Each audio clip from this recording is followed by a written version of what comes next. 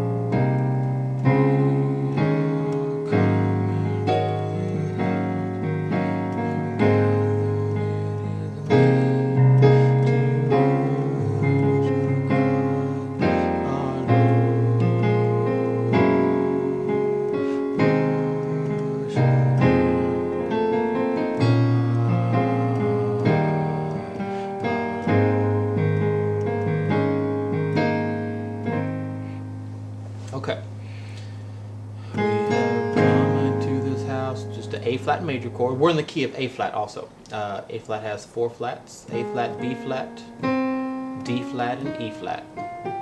Okay, we have come into this house, A flat major chord, A flat, C, and E flat. You can add this B flat. Left hand I'm playing A flat and E flat.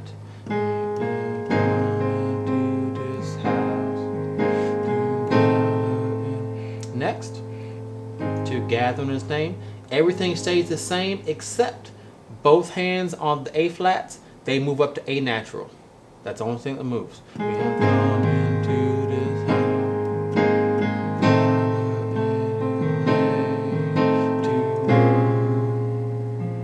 Next, left hand goes to B flat and F if you like. This is optional. Right hand is going to an D flat major chord, an inverted D flat major chord, which is A flat, D flat, and F, and I'm adding this C here. Okay.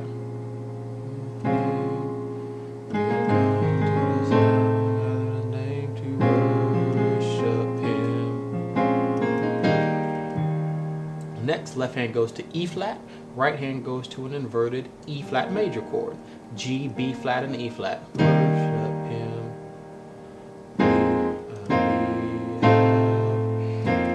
Passing chord, I'm doing F in the left hand, right hand I'm doing B flat, C, E flat, and F.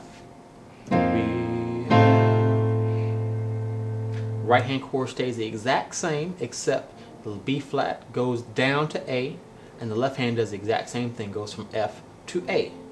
Both hands meet at the A. We have come into this house, this chord, over uh, B flat. I'll call this the four chord. I think I, I'll actually be doing this several times. So when I refer to the four chord, I'm referring to this uh, D flat major chord.